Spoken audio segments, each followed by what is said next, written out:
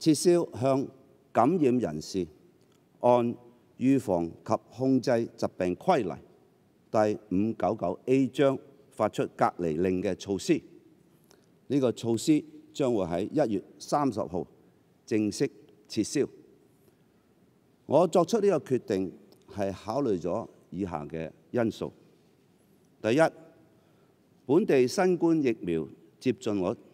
第二劑同埋第三劑係已經達到百分之九十三同埋百分之八十四，加上第五波疫情以嚟大量市民因為感染而產生咗免疫力，等同接種第三劑疫苗嘅有效接種率達到百分之九十五。社會對新冠病毒嘅混合免疫屏障已經係十分牢固。第二，經過三年疫情同埋新冠病毒不斷演變，加上本地醫療系統防治能力嘅提升，以及有效嘅抗病毒藥物，病毒對本地嘅公共衛生風險已經明顯改變並且減低。第三，同內地通關咗十多日，沒有增加到疫情風險，疫情一直係向低走，更加從最高位嘅差差不多係三萬宗，一直回落到昨天嘅三千幾宗。政府對新冠疫情嘅管理需要邁向新階段、新模式。由於病情多屬輕微。對疫情嘅處理應該由政府一刀切強制，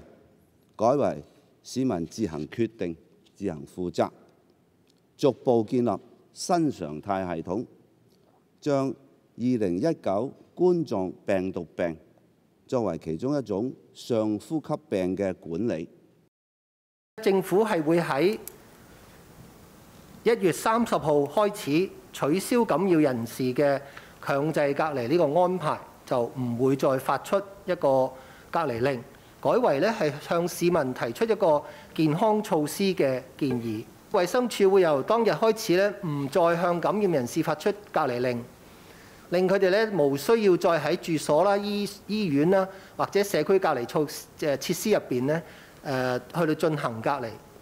所有人士咧由嗰日開始咧係我可以。如果自我檢測陽性嘅話咧，亦都唔需要再透過衛生防護中心嘅網上平台咧，係去情情報嘅。對於感染人士喺檢測陽性之後嘅頭五日咧，我哋建議佢時刻咧都應該佩戴住一啲外科口罩啦、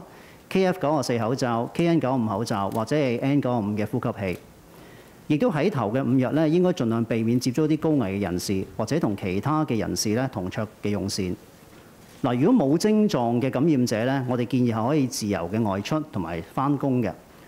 但係現時咧，我哋都希望保護一啲年幼嘅群組，所以咧，如果學生係檢測陽性咧，我哋都建議佢咧唔好翻學，直至到咧個抗原測試陰性為止。我哋建議一啲有症狀嘅市民咧，應該盡量留喺屋企，避免外出。考慮到部分嘅感染人士咧，可能由於家居嘅環境比較誒逼仄啦。亦都咧係希望入住誒個隔離設施咧，減低傳播個疾病咧，俾佢屋企一啲高危嘅人士。所以有關呢個隔離設施嘅措施咧，我哋會短期會繼續運作嘅。呢個過渡安排咧，我哋會淨係俾香港居民使用。我哋喺一月三十日開始咧，防護中心將會經我哋嘅專題網頁咧，公佈每一日嘅核酸陽性檢測嘅樣本嘅數字同埋死亡個案，取代咧而家每日嘅新聞公告。